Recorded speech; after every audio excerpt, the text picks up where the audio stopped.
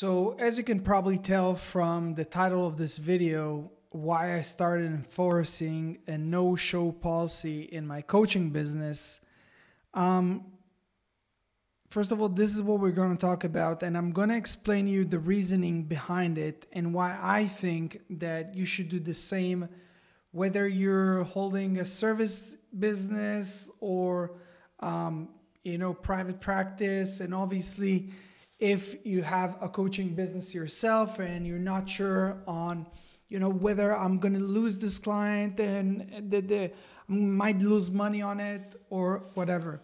So when i first started and this is something that um, you know happened with this uh, coaching business that i'm running um, i started a few months ago.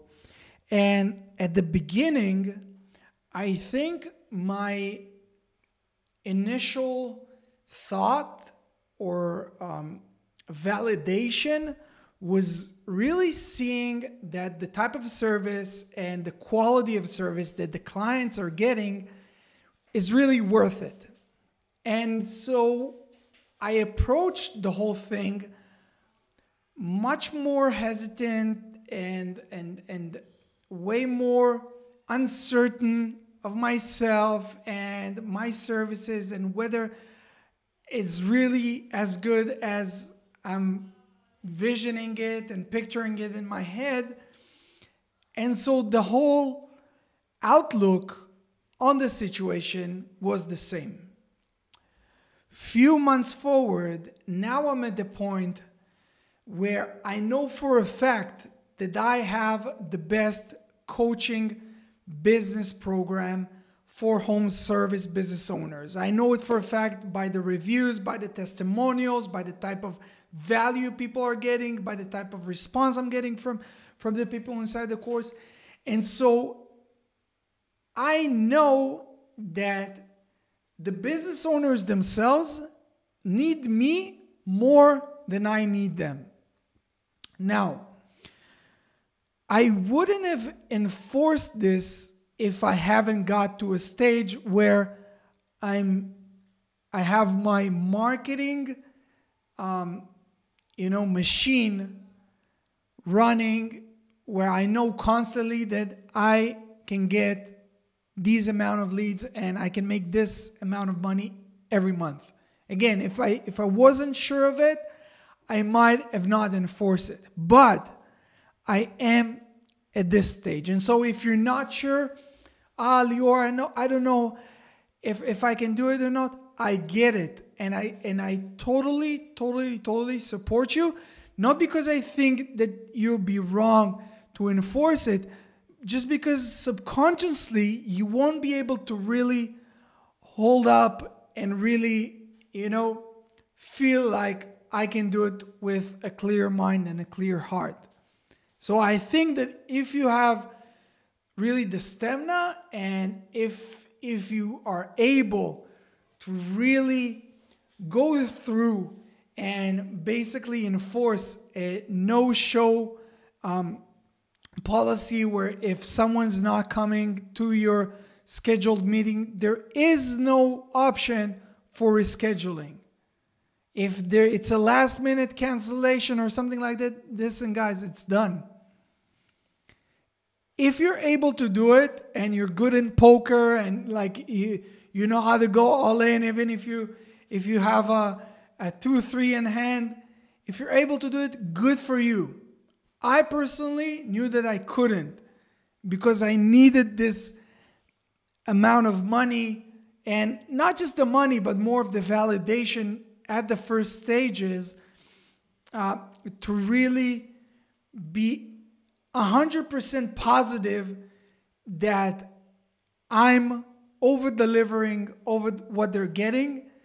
And so I'm in the position of power, which is another point, especially in your if you're in a coaching world and coaching business, you must be in a position of power over the conversation and need to control the narrative and need to control the, the conversation if you want to, to really win the client. Otherwise, forget about it.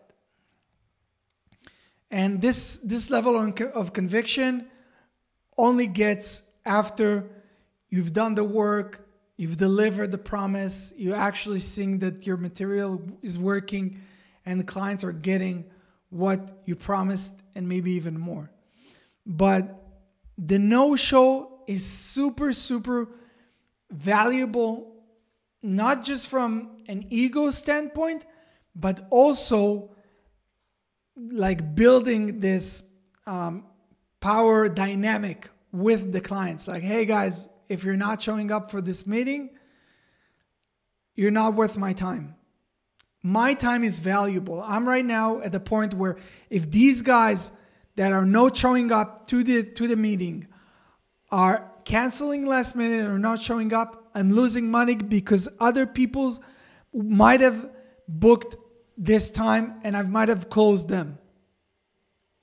And this brings me up to the next point, and this is something that I've not yet started, but I now talk to my VA and I'm gonna have the her start reaching out to those prospects who've booked a call and confirm with them that they understand, first of all, that it's a coaching call. And if they're going on a call with me, that first I'm going to teach them how to generate the leads themselves. And I'm not doing the, uh, I'm not an agency, you know, generating leads for the home service businesses. So this is number one clarity over what the call is about. Number two, have them know that they will need to make a decision by the end of the call. Super important because a lot of times people are coming with just, ah, I want to hear what that. I help those people bridge the gap and help them close most of them during the call. But she will reinforce that this is what's going to happen in the call. And third, that if they're not showing up, they will lose the opportunity of ever working with me. So they need to know that they need to show up if they're actually um, mean business and they want to grow their business. And so this is just my thought for today. And again, it's it's so easy to be a content creator, how I feel and how I view it today, where you see there's not much fancy uh, going on, uh, background going on, and there, there won't be almost no editing to this video because content is king. And so what I deliver is what I experience myself. So if you're a content creator or if you're thinking about content uh, creation on YouTube or other platform, all you need to do is just talk about what's happening in your day. And so I brought a little bit about my VA stuff and you know like content creation, but the main thing is a no show policy. And so I think, again, super valuable, especially with creating this power dynamic between you and the prospect because you will need to control the narrative and control the conversation if you want to close. And you want to close. That's the that you don't want to make new friends. You, you're not there to entertain them. You're not there to uh, uh, give free advice. You're there to close them in hopes of helping them with their business. And that can only be done through the program that you're running or the service that you're offering. That's it. My name is Lior Vaknin. Um, I hope you find this video useful. If you did, make sure to subscribe, hit the like button. Give me in the reviews what you think about a no show policy and whether you're enforcing it. And if not, what are the stories you're telling to yourself about why you're not doing it within your business. And that's it. I'm going to see you guys in the next one. And that's it. Peace. Bye. Shalom.